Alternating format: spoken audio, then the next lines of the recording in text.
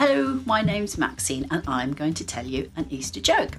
So, why shouldn't you tell an Easter egg a joke? It might crack up.